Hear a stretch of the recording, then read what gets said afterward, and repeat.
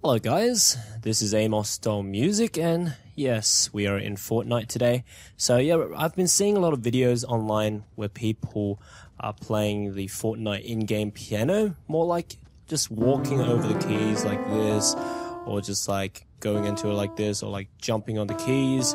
But yeah, I don't know. Like, for me, it does not really seem that practical and reflective of and resembling how like a real piano is kind of like played. Okay, so I've been playing around with it, and for me, I think flying upwards and seeing all the keys resembles more of that, and also shooting the keys kind of like makes it feel like I'm actually kind of like playing it, sort of. yeah, aiming at the keys, etc., etc., etc. So, yeah. I hope you guys enjoy this following video where I go ahead and play some of the top Fortnite dances on the piano using this kind of method. And yeah, I guess enjoy.